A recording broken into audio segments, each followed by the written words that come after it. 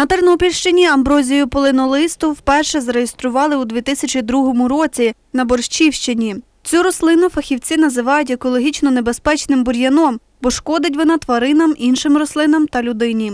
Пилок амброзії викликає алергію та приступи астми. Коли амброзія цвіте, люди втрачають працездатність, у них напухають слизові оболонки верхніх дихальних шляхів та очі, з'являється нежить, сльозотеча, розвивається астма. За зовнішнім виглядом амброзія полинолиста нагадує полин звичайний. Е, Це висока рослина до метру, е, до метра в висоту.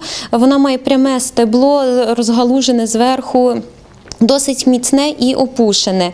Людям в разі виявлення амброзії полинолистої краще е, до неї не підходити, не трогати руками. В Гусятині під час перевірки державний інспектор з карантину рослин у Тернопільській області виявив на залізничній станції амброзію полинолисту. Висновки фітосанітарної експертизи підтвердили, що це дійсно ця рослина.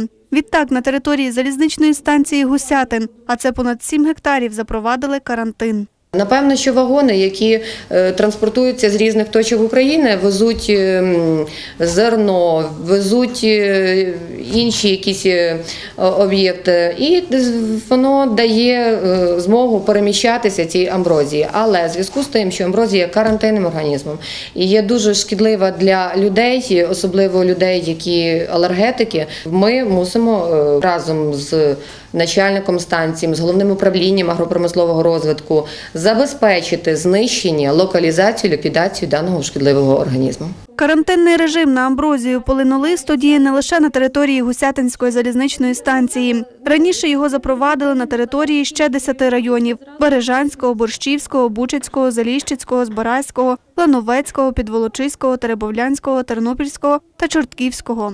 Амброзії полинолистій властива висока регенераційна здатність. Частини рослини, що присипані вологим ґрунтом, здатні утворювати додаткове коріння і добре приживатись.